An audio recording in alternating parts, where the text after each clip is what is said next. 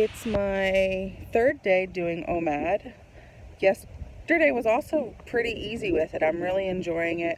I find that I am being more active simply because I want to, when I'm busy and distracted, um, especially when I'm with other people, I don't think about food or like I'm not even hungry right now.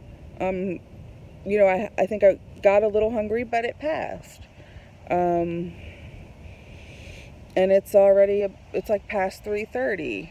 So I, I'm really liking this. I like that I'm able to have a large amount and I get a satisfied feeling. So it's really satiating. Um, so yeah, so the first day I think when I counted the calories, because I'm also limiting my cal caloric intake. So I'm doing OMAD with and aiming for 1200 calories. Um, I think I got 1223 or something the first day and 1335 yesterday. So I am I'm also writing down all of my food and and well that's how I'm keeping track of the calories. Um, but I'm actually writing it down in an actual journal with a pen and paper, not just on my app.